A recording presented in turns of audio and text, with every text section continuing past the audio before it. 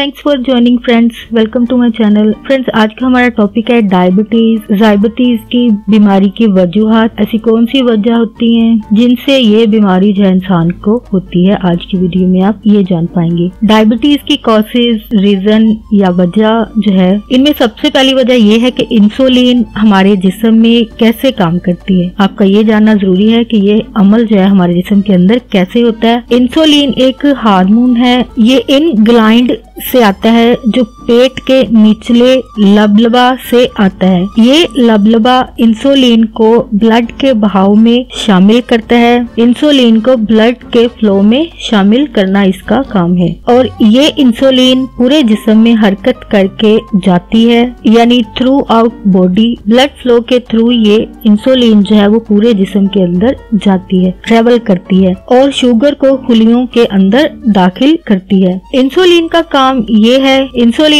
Sugar level को कम करती है। खून के बहाव के अंदर जो ब्लड फ्लो जिसम के अंदर चल रहा होता है, इसमें शुगर लेवल को कम करना इंसुलिन का काम है। इसी तरह जैसे ही आपके खून में शुगर लेवल जो है, गिरता है, नीचे होता है, कम होता है, इसी तरह लबलबे में इंसुलिन बनने का जो अमल है, वो भी गिर जाता है डिक्रीज हो जाता है। नेक्स्ट जो चीज़ आपको जानने की ज़रूरत है, वो है ग्लूकोज यानी ग्लूकोज का क्या किरदार है, क्या रोल है? डायबिटीज़ के होने में ग्लूकोज का किरदार जो है ग्लूकोज यानी शुगर ये तवानाई का बहुत बड़ा ज़रिया है खुलियों के लिए सेल्स के लिए, जो कि पट्टों और बाफ्तों को बनाने में मददगार होती है। ग्लूकोज को हासिल करने के दो बड़े जराए हैं, दो मीडियम्स हैं। पहले नंबर पे खाना जो इंसान खाता है, और इसके अलावा जिसम में मौजूद जिगर। शुगर जो है, वो ब्लड खून के बहाव में जजब होती है, जहाँ से ये खुलियों में शामिल होती है, और ये अमल जो है इंसुलिन की मदद से होता है जो कि आपको भी पता चला होगा कि इंसुलिन जो है वो ब्लड के अंदर होती है और ये पूरे जिस्म के अंदर ट्रेवल करती है हर, हरकत करती है। हमारा जिगर ग्लूकोज को बनाता है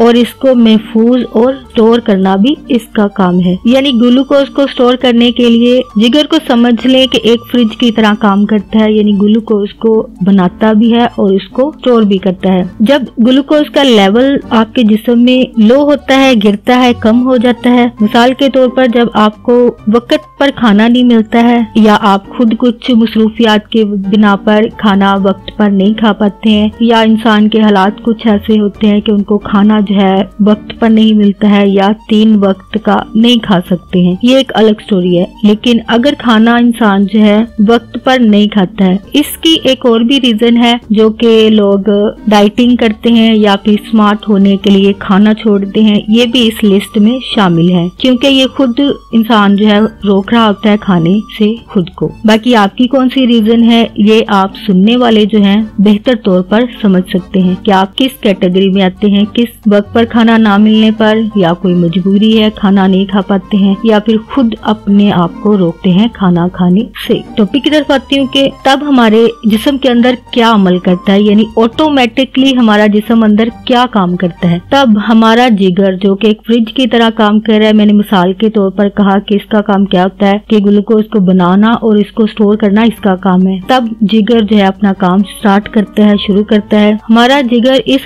स्टोर गले को, जिनको ग्लूकोज में तोड़ता है, तब हमारा जिगर इस स्टोर हुए गले को, जो कि मिसाल के तौर पर कह रही हूँ, जिसमें ग्लूकोज को स्टोर किया होता है, उसको तोड़ता है, ताकि ग्लीकोजन जिसम में ग्लूकोज का लेवल नॉर्मल रेंज के अंदर रहे, यानी जिसम के अंदर ग्लूकोज के लेवल को नॉर्मल रेंज में रखने के लिए जिगर जो है ऑटोमेटिकली ये काम हमारे जिसम के अंदर करता है। और ये दोनों अमल ही, अगर इन दोनों के दरमियान में कुछ गड़बड़ हो जाए, या इनके काम में फ़र्क आ जाए, या इनका लेवल जो है डिक्रीज हो जाए, या इंक्रीज हो जाए, यानी इनका लेवल गिरना या फिर लो होना डिक्रीज होना जो है, इंसान के लिए खतरनाक है। यानी जिन लोगों में ग्लूकोज और इंसुलिन अपना काम जो है प्रॉपर नहीं कर पाते हैं। ये दोनों चीज़ें जो है, अगर बैलेंस नहीं है लेवल नहीं है तो इंसान को डायबिटीज़ होने का खतरा जो है वो बढ़ जाता है। इसकी मेन वजह आपको पता चल गई होगी कि खाना अगर इंसान वक्त पर नहीं खाता है तो ये एक बड़ी वजह है। ग्लूकोज के लेवल को